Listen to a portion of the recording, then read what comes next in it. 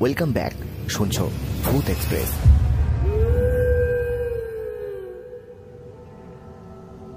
Hello everyone স্বাগত জানাই প্রত্যেককে আটষট্টি নম্বর এপিসোডে আমি শুভ রয়েছি তোমাদের সঙ্গে, আশা করছি তোমরা সকলেই ভালো আছো। আজকের এপিসোডে কিন্তু দুটো ঘটনা রয়েছে। প্রথম যেই ঘটনাটি রয়েছে, ঘটনাটি একটি ভুতুরে বাড়ির ঘটনা। একটি পরিবার, একটি নতুন বাড়ি কেনে এবং সেই বাড়িটাতে কিছু প্যারানর্মাল অ্যাক্টিভিটিস হয়, যার কারণে সেই বাড়িটাতে থাকা তাদের পক্ষে অনেক কঠিন হয়ে ওঠে। দ্বিতীয় যেই ঘটনাটি রয়েছে, ঘটনাটি কুফরি করার ঘটনা। কুফরি সম্পর্কে যারা জানো না, তাদের বলে রাখি কুফরি হলো এক ধরনের কালো জাদু, যা খুবই খারাপ এবং খুবই ভয়ানক একটা ব্ল্যাক ম্যাজিক আজকের দুটো ঘটনাই খুবই ভয়ের সো যারা যারা শুনছো, তারা এক মন দিয়ে শুনতে থাকো। তোমরাও চাইলে আমায় ঘটনা পাঠাতে পারো, ঘটনা পাঠানোর জন্য আমায় ঘটনাটি লিখে তোমাদের ইমেল করতে হবে ভূত express nine at the rate gmail dot com এই ইমেল অ্যাড্রেসে। অথবা আমাদের ফেসবুক পেজ এবং ইনস্টাগ্রামের লিংক দেওয়া আছে, ডেসক্রিপশানে তোমরা সেখানেও আমায় ঘটনা পাঠাতে পারো। চলে যাব আজকের প্রথম ঘটনায়। ঘটনাটি যেইভাবে লেখা হয়েছে, আমি ঠিক সেইভাবেই তোমাদের পড়ে শোনাচ্ছি।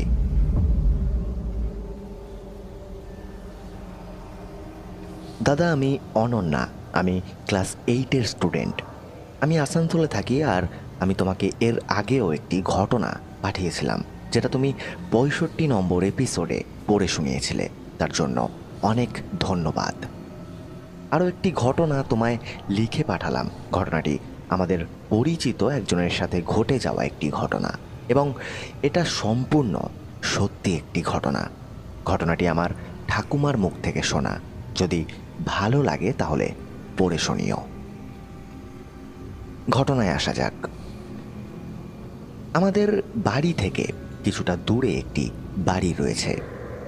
আমার ঠাকুমা বলেছিলেন যে, ওই বাড়িটিতে যারা থাকতে আসে, তারা এক মাসের বেশি ওই বাড়িটাতে কেউ থাকতে পারে না। ঠাকুমা তার কোনো কারণ প্রথমের দিকে আমাকে কিছু বলেনি। তবে ওই বাড়িটি একদিন আমাদের এক পরিচিত ভদ্রলোক কিনেছিলেন। আমার ঠাকুমা নাকি তাদের ওই বাড়িটি কিনতে বারণ করেছিলেন। তারা যখন ওই বাড়িটি কেনার জন্য কথা বলেছিল, তখন আমার ঠাকুমা তাদের ওই বাড়িটি কিনতে মানা করেছিলেন। যেহেতু তারা আমাদের খুবই পরিচিত ছিল, তাই ঠাকুমা তাদের মানা করেছিল। কিন্তু তারা তা সত্ত্বেও সেই বাড়িটা কিনেছিল। বাড়িটা কেনার পর প্রথমে তাদের কোনো সমস্যা হয়নি। কিন্তু দু তিন দিন পর থেকে তাদের সাথে কিছু অদ্ভুত ঘটনা ঘটা শুরু হয়। যেমন ওই কাকিমা একদিন সন্ধেবেলা রান্নাঘরে রান্না করছিলেন। বলে রাখি, আমাদের পরিচিত যেই ভদ্রলোকটি বাড়িটি কিনেছিলেন, তার স্ত্রীকে আমি কাকিমা বলেই এখানে উল্লেখ করলাম। তো কাকিমা, তিনি একদিন রান্না করতে করতে অনুভব করলেন যে তার পিছনে, অর্থাৎ রান্নাঘরের ভিতরে তার সাথে আরও কেউ রয়েছে। কিন্তু ওই কাকিমা, তিনি জানতেন যে ওই সময় বাড়িতে উনি ছাড়া আর কেউ ছিল না। তাই তিনি ভাবলেন যে এটা তার মনের ভুল। তাই সে কোনো গুরুত্ব না দিয়ে আবার রান্নার দিকে মন দেয়। রান্না সেরে তিনি যখন ঘরের দিকে যাচ্ছিলেন, তিনি তখন যা দেখলেন তা তিনি স্বপ্নেও কল্পনা করতে পারেননি। তিনি দেখলেন তার ঘরের দরজার সামনে এক মহিলা দাঁড়িয়ে আছেন, যার শরীর আছে কিন্তু মাথা নেই। মহিলাটির শরীরটা স্পষ্ট বোঝা যাচ্ছিল, কিন্তু তার মাথাটা শরীর থেকে আলাদা ছিল। তো সেই কাকিমা এই দৃশ্য দেখে তিনি সেখানেই নিজের জ্ঞান হারিয়ে ফেলেন। এরপর যখন তার জ্ঞান ফেরে, তিনি নিজেকে বিছানার ওপর শোয়া অবস্থায় পায়। তার স্বামী তাকে প্রশ্ন করে, তিনি সব কথা তার স্বামীকে জানায়, কিন্তু তার স্বামী সে কিছুতেই বিশ্বাস করতে চায় না। তিনি বলেন, এসব তার মনের ফুল এই ঘটনার দুদিন পর কাকু একদিন অফিস থেকে ফিরে ফ্রেশ হয়ে বাড়ির ছাদে একটু পায়চারি করছিল। কিছুক্ষণ ছাদে হাঁটাহাঁটি করার পর হঠাৎ কাকু অনুভব করতে শুরু করল, তার শরীরটা খুব ভারী হয়ে আসছে।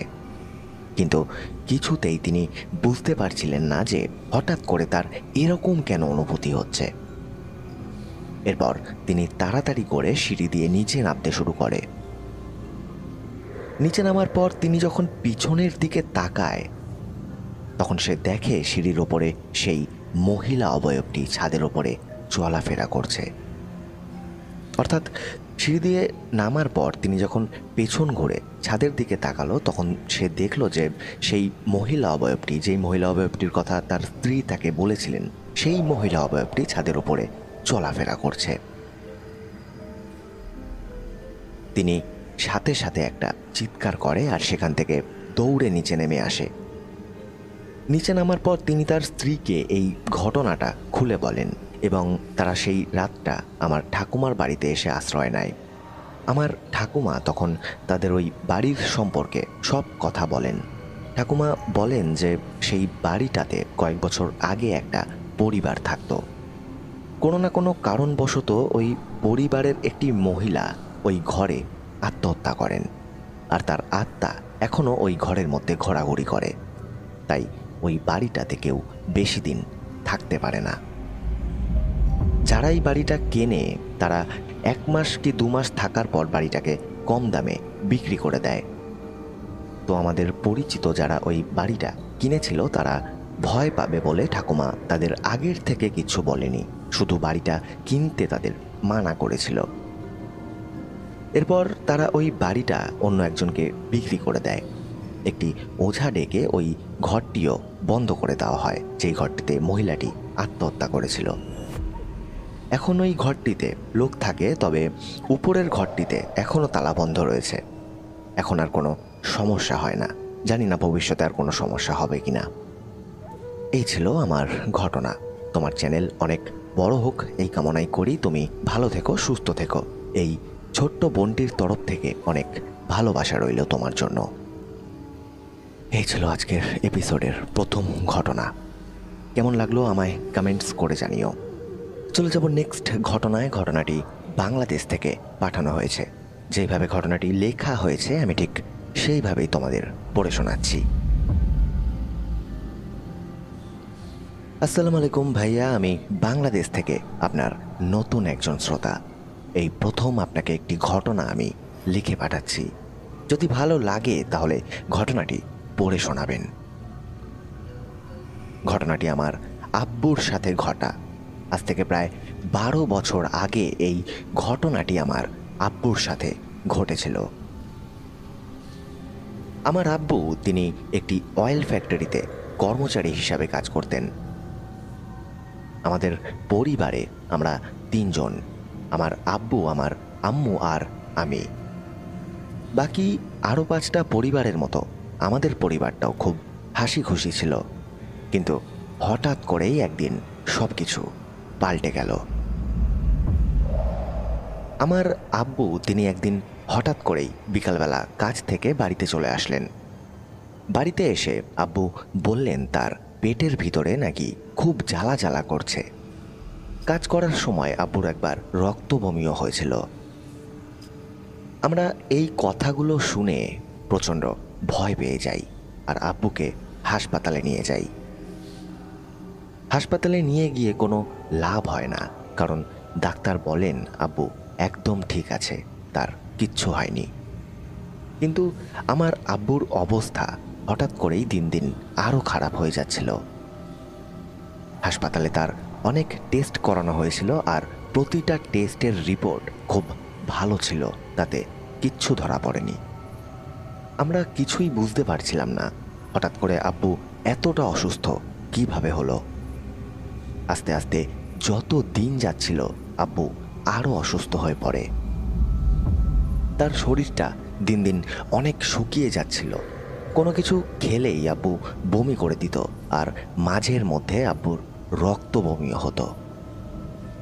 আব্বু বলতো, তার সারা শরীরে বিভৎস জ্বালা করছে। তাকে অনেক ডাক্তার দেখানো হয়েছিল, কিন্তু কোনো ডাক্তারই তার রোগ ধরতে পারেনি। কয়েকদিন পর আমার আব্বুকে একটি হুজুরের কাছে নিয়ে যাওয়া হয়।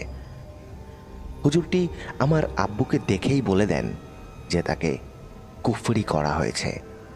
আমার আব্বু আর বেশি দিন বাঁচবেন না। এইসব শুনে আমরা প্রচণ্ড ভেঙে পড়েছিলাম। আমরা কি করব কিছুই বুঝতে পারছিলাম না। একদিকে দিন দিন আমার আব্বুর অবস্থা খুব খারাপ হয়ে যাচ্ছিল। আর আরেকদিকে আমরা একের পর এক হুজুরের কাছে এর সমাধান খুঁজে বেড়াচ্ছিলাম। শেষমেশ খুবই নামকরা একটা হুজুরের কাছে আব্বুকে নিয়ে যাওয়া হয়। তিনি আব্বুর হাতে একটি তাবিজ পরায় আর আব্বুকে জলের মতো কিছু একটা জিনিস খাওয়ায়। সাথে সাথে আব্বু সেখানেই বমি করে দেয় আর অজ্ঞান হয়ে যায়। এরপর হুজুরটি বলেন, আব্বু, আস্তে আস্তে সুস্থ হয়ে যাবে। কিন্তু এই খারাপ কাজটি কে করেছে এটা জানা যাবে না। এরপর আস্তে আস্তে আমার আব্বু সুস্থ হয়ে ওঠে। আর কোনো সমস্যা হয় না, কিন্তু এই খারাপ কাজটি কে করেছিল এটা আমরা আজও জানতে পারিনি। এই ছিল ঘটনা। এই ছিল আজকের এপিসোডের দুটো ঘটনা। কেমন লাগল আমায়? কমেন্টস করে তোমরা জানিও। আর ভালো লাগলে লাইক করতে ভুলো না। যারা যারা নতুন শুনছো, তারা আমাদের চ্যানেলটি সাবস্ক্রাইব করে আমাদের পরিবারের সাথে যুক্ত হয়ে যেও। সবাই ভালো থেকো আজকের মতো। শুভরাত্রি।